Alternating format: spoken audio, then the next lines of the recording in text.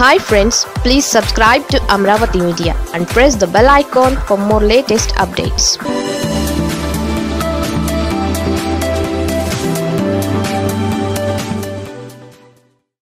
Jagan లేఖపై Prashant Bhushan మరో సంచలనం.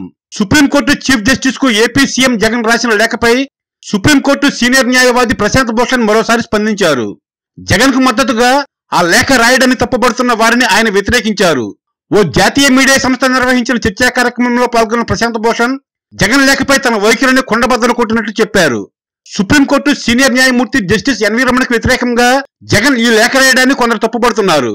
మరికొందరు ఆ లేఖను బహిర్గతం చేయడాన్ని వ్యతిరేకిస్తున్నారు. ఇదే విషయం చర్చలో ప్రస్తావనకు రావడంతో దానికి సమాధానంగా ప్రశాంత్ భూషణ్ మాట్లాడుతూ ఈ విషయాన్ని అసలు ఎందుకు రహస్యంగా ఉంచాలని ప్రశ్నించారు.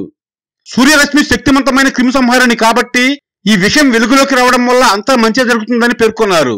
తెలుగుదేశం పార్టీకి జస్టిస్ ఎన్వి రమణకు సంబంధాలు ఉన్నాయని అధికార పార్టీకి వ్యతిరేకంగా హైకోర్టును ప్రయోగిస్తున్నారని రాజధాని అమరావతి భూముల్లో ఇన్సైడర్ ట్రేడింగ్ చేశారంటూ తీవ్రమైన అభియోగాలను ఒక రాష్ట్ర సీఎం చేసిన తర్వాత వీటిపై విచారణ జరపకుండా ఉండడం కరెక్ట్ కాదన్న అభిప్రాయాన్ని ప్రశాంత్ భూషణ్ వ్యక్తం చేశారు. సుప్రీంకోర్టులో గాని హైకోర్టులో గాని ఉన్న సిట్టింగ్ జడ్జీలతో దర్యాప్తు చేస్తే వారు జగన్ రాసిన లేఖలోని ఆరోపణలపై నిష్పక్షపాతంగా విచారించే అవకాశం ఉండదని కాబట్టి పదవీ విరమణ చేసిన ముగ్గురు నిజాయితీ పరులైన న్యాయమూర్తులను నియమించాలని ఆయన సూచించారు. సుప్రీంకోర్టు మాజీ న్యాయమూర్తి ఏకే గంగూలీ కూడా దాదాపుగా ఇదే రకమైన అభిప్రాయం వ్యక్తం చేశారు.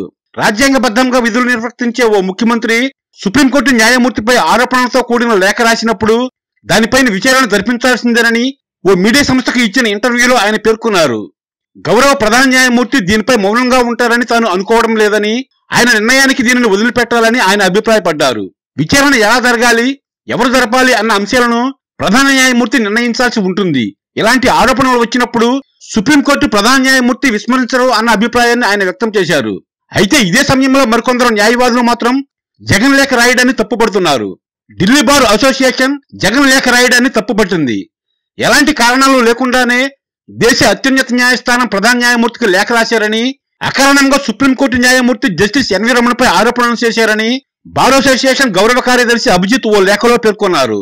జగన్ లేఖ రాయడమే కాకుండా దాన్ని బహిర్గతం చేయడం పబ్లిక్ డొమైన్లో ఉంచడం వంటి చర్యలు న్యాయ వ్యవస్థను ధిక్కరించేవిగా అగౌరవపరిచేవిగా ఉన్నాయని ఆయన పేర్కొన్నారు. Supreme court advocates on records association కూడా ఇదే రకమైన అభిప్రాయాన్ని వ్యక్తం చేసింది. ఈ మేరకు అసోసియేషన్ ఒక తీర్మానం చేసింది.